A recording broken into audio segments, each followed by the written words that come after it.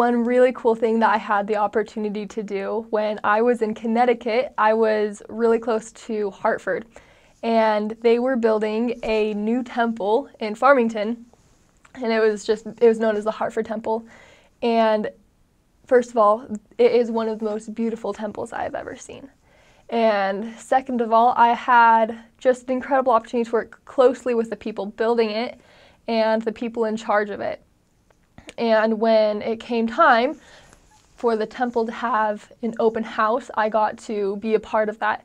And what happens when you have a temple open house is everyone from the community, no matter what their religion is, they get to walk through it and tour it.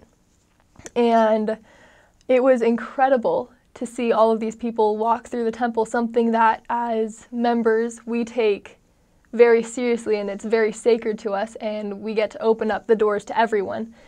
And afterwards, there was a little like reception tent that you would go to when you, after you'd walked through your temple.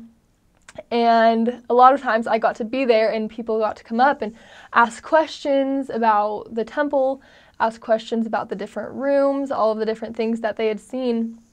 And I got to stand there and testify to them and tell them all of the beliefs that we have and all of the wonderful promises we believe that we can make with God in the temples.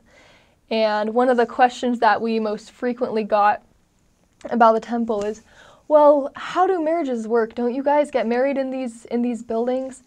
And I loved that because it's it's true, we do get married in the temples and and when that happens, it's just this very very sacred time between you and your spouse and the Lord where you just make promises to always be faithful and to always do your best to live good lives together. And I got to testify of that and tell them about that often and how we believe that marriage doesn't only last in this life, but it also goes beyond this life. And when we die, that we will still be able to be with our spouses forever.